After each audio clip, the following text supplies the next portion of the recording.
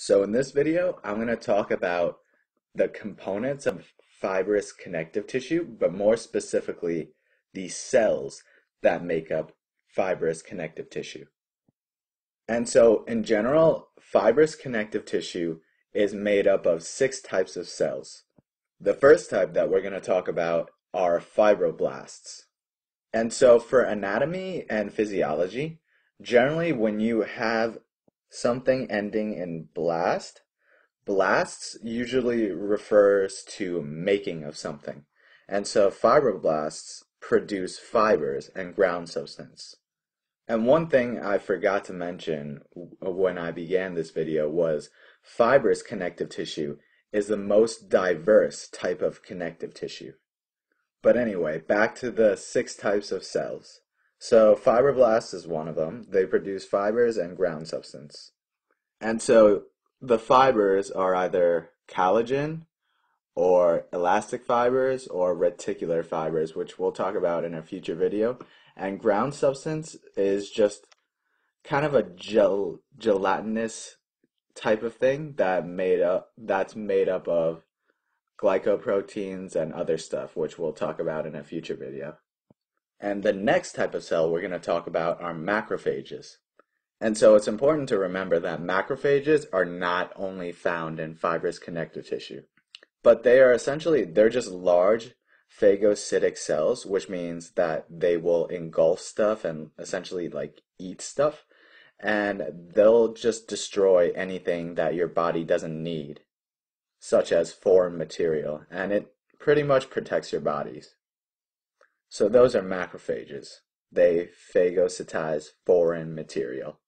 The next type of cell we're going to talk about are leukocytes, which are also known as white blood cells. So these cells enter from the blood. Um, so they enter the connective tissue from the blood and move throughout the bloodstream. And obviously, the leukocytes look for bacteria and antigens and can respond to that. And so the third one is white blood cells or leukocytes, and they are found in fibrous connective tissue. So the fourth type of cell that we're going to talk about are mast cells. So these cells are found along the side of blood vessels, so they kind of are just found, you know, towards the end of the blood vessels, and they secrete heparin and histamine.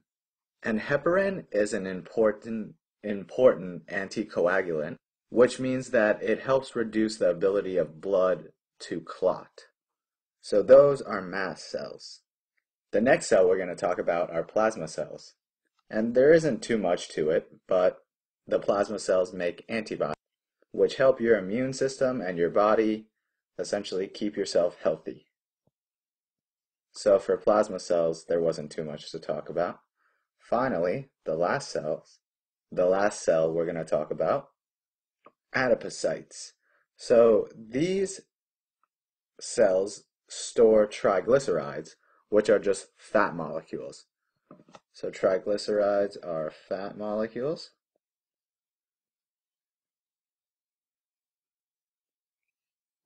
And these cells are often found scattered in the fibrous connective tissue. So I don't know if you noticed, but a lot of these cells have to do with your immune system and how it functions. Actually, half of them.